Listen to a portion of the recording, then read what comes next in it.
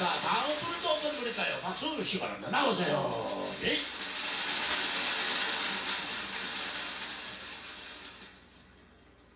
꿈을 꾸는 아줌마 김윤미입니다.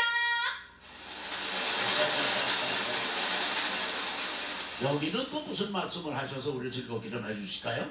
아, 송인 오빠가 네. 저를 리포터 부르듯이 어. 김윤미 리포터 나와주세요. 이렇게 한번 불러주세요. 아, 제가 네. 아, 그 중요한 소식을 가지고 계신 것 같은데. 아, 아, 여기는 방송국입니다. 김윤미 리포터 나와주세요.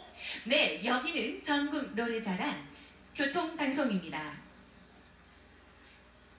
현재 이 시각 인생 고속도로 속보입니다.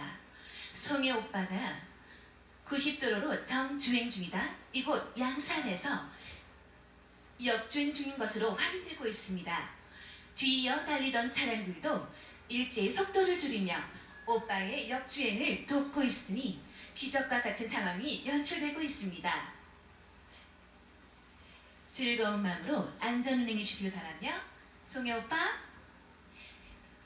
인생은 네. 역주행 차는 정주행 아시죠? 아, 예, 예, 예. 아이고. 지금까지 교통방송이었습니다.